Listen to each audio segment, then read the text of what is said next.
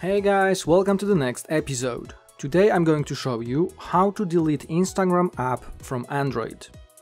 So let's start. First of all, when we have Instagram app installed on our phone, we need to close it. So in order to do that, make sure you click on the square button and then drag it to the left, the right or up or down, depends on your phone, to make sure it's closed.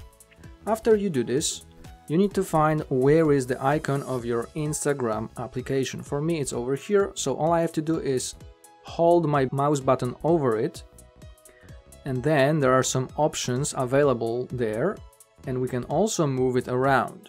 So in this case I would move it until I get to uninstall and it changes the color to red. This uninstall button can be different depends on the phone that you are using or in some cases when you hold it you may see option uninstall over here in this menu over here. Or maybe this uninstall button will be somewhere at the bottom. For me it's up here so I'm gonna move it over here. I drop it.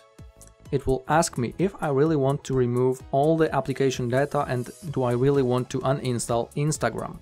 If we are sure, we click uninstall and in this moment Instagram app was completely removed from our phone we completely uninstalled the application and we removed all the data from our phone.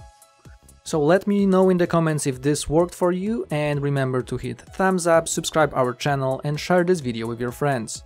Thanks for watching.